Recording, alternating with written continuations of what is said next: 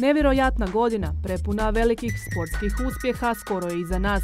A završetak godine bio je sjajna prilika da Hrvatski olimpijski odbor proglasi one najuspješnije u 2016. Povijesno najuspješnija godina hrvatskog športa. Vidjeli ste sami kakve su to svjetske zvijezde, koji su to rezultati, kakvi su to pozitivni mladi ljudi koji zapravo čine taj hrvatski sport i to je užitak vidjeti ih na jednom mjestu i svi i odati im zapravo priznanje za ono što su tijekom ove godine na isteku koje smo napravili. Najuspješnijim sportašem tako je proglašen Josip Glasnović, dok je u žestokoj ženskoj konkurenciji, u kojoj se našla i zlatna Sara Kolak, nagradu odnijela olimpijska i europska pobjednica u bacanju diska Sandra Perković. Prezadovoljna sam, presretna sam da u 2016. godini koja je olimpijska godina, upravo ja sam opet ponijela tu titulu.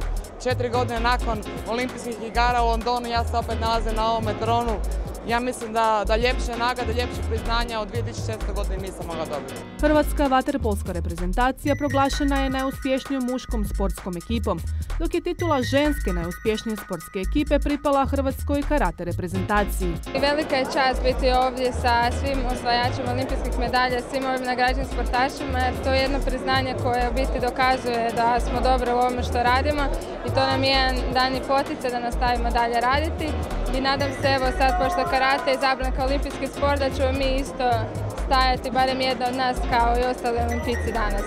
Dvije ravnopravne nagrade podijeljene su u kategoriji najuspješnijeg sportskog para štafete ili posade.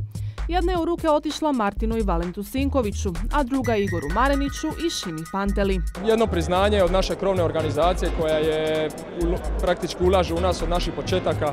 Mogli ste vidjeti na početku snimke od, od večeras. E, ja sam se prvi put popeo tu kao najveća nagrada hrvatskog sporta davne 98. To je bilo znači prije 16 godina. Hrvatski olimpijski odbor je u nas e, ulagao, vjerovao u nas da možemo donijeti olimpijsku medalju.